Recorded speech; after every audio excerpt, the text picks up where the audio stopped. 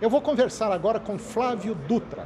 Flávio Dutra é pesquisador da APTA, um instituto muito importante de pesquisa aqui no nosso país. E o Dutra vem fazendo um trabalho já há alguns anos, muito interessante. E para muitos pecuaristas que adotaram essa tecnologia, os resultados são excelentes. É o chamado boi 777. Dutra, o que é o boi 777? Bem, nós pegamos um animal nas diferentes etapas da vida dele e dividimos esse animal. Aí a coisa mais simples que a gente tem que pensar pra, para o pecuarista é, é falar uma linguagem comum para todo mundo. O que, que é um bezerro bom? É um bezerro que pesa 200 quilos, 220 quilos, está na média das sete arrobas. Tem muita gente desmamando bezerro com 240, 250, 280. Essa turma está muito acima da média. O problema é que tem muita gente que desmama esse bezerro lá com 150, 160, 170 quilos. Esse bezerro, tranquilamente, ele fica um ano ou mais na fazenda daquele outro que já desmamou melhor. Então, assim, esse é o, é o princípio, é a base. A base do sistema de produção está na qualidade do bezerro que você vai recriar depois. Então, isso a gente tem que falar que isso envolve genética, isso envolve nutrição da mãe.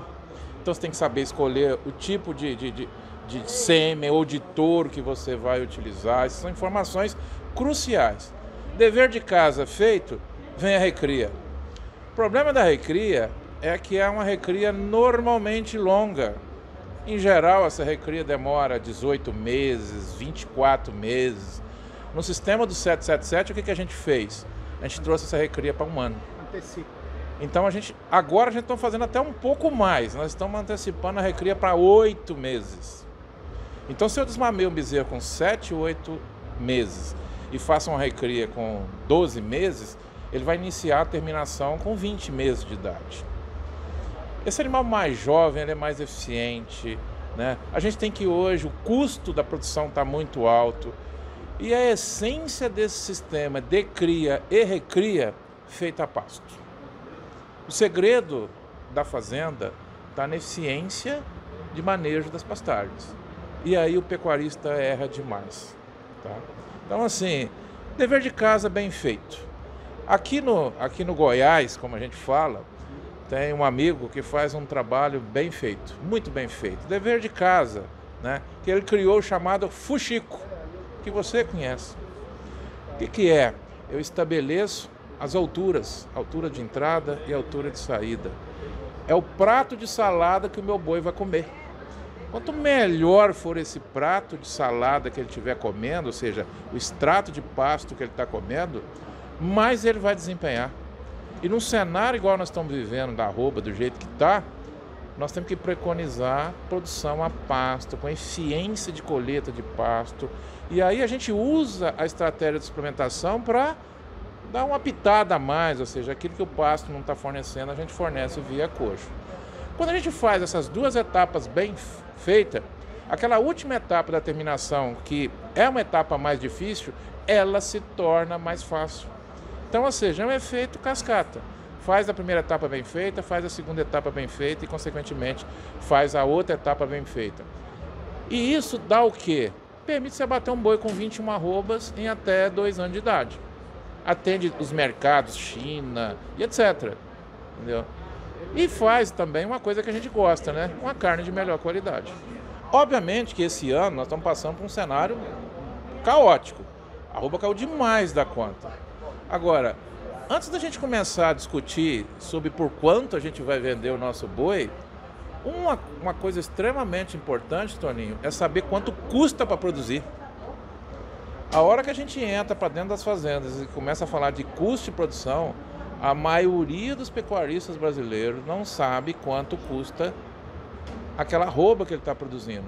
Então, ele não pode achar que ele está vendendo por 200, ou ele vai vender por 250, ou vai vender por 300. Esse é o fim da linha.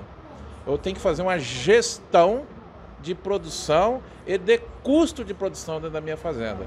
Porque aí eu, eu tomo tomam medidas corretivas na hora certa. As tecnologias que a gente gera como pesquisador estão aí. Basta o pecuarista saber usá-las porque elas funcionam. E você sabe por que, elas funcionam? Porque hoje a gente já tem um monte de pecuaristas que adotam esse sistema 777 e que estão com as suas eficiências, tanto produtivas, aliada à eficiência econômica. As duas têm que estar andando junto.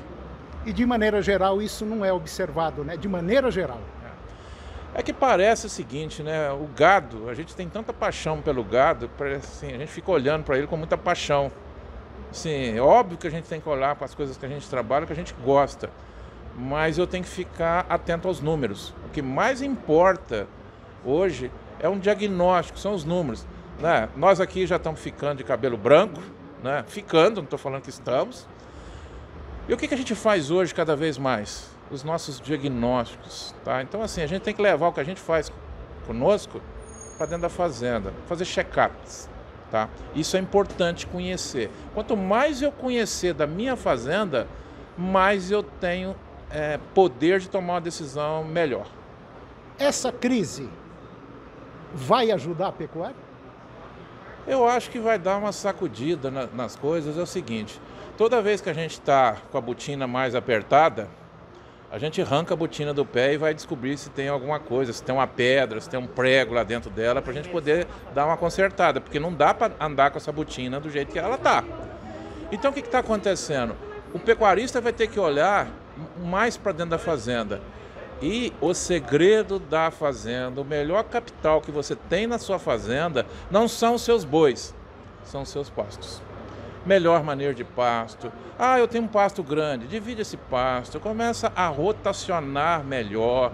Ou seja, feijão com arroz. Nós estamos vivendo um momento de trabalhar com um bom prato de feijão com arroz. Eu acho que é esse, isso está acontecendo, tá? Eu tive a oportunidade de viajar para vários estados agora esse ano a crise é, é, é, é verdadeira, mas eu, eu, eu, tive a oportunidade de visitar fazendas que fizeram o dever de casa bem feito, estão ganhando dinheiro, mesmo no cenário de arroba do jeito que está. Então o problema não é o preço da arroba. O problema não é o preço da arroba. Obviamente que o preço da arroba ajuda, claro, entendeu? Mas aquela história é o seguinte: é, as margens da atividade pecuária não é diferente, por exemplo, da margem do cara que é dono do posto de gasolina, do cara que é dono do hotel, do cara que é dono da lanchonete. O que, que o cara da lanchonete e do posto de gasolina tem que fazer para poder melhorar a, a, o sistema de produção dele, lá da lanchonete e do posto de gasolina?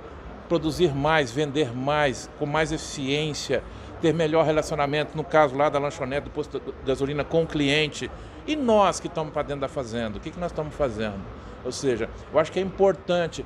É, é, ir nos sindicatos de produtores, conversar, trocar experiências, tá? Do que, que você está fazendo de melhor, tá? Porque não adianta eu ficar ali chorando que a roupa está ruim, que a culpa é do fulano, que a culpa é do Beltrano, porque enquanto eu estiver colocando a culpa nos outros, eu estou gastando energia que eu deveria pegar essa energia e jogar lá para dentro da minha fazenda e procurar a solução. Eu garanto para você que a solução existe. Quando a gente visita, por exemplo, sistemas de produção nos Estados Unidos, eu tive oportunidade várias vezes para lá. Toda vez chegava no confinamento, e esse boi? Eu falava, ah, esse, esse boi hoje tá dando, vai dar um prejuízo médio de 100 dólares. Mas por que, que você continua? Eu falei assim, esse ano eu estou tomando prejuízo. E o que eu ganhei o ano passado? E o que eu estou planejando para ganhar no ano que vem? É uma média de vários anos. A gente tem que saber fazer isso e fazer gestão. A palavra mágica está. Né? Essa é a palavra mágica, gestão.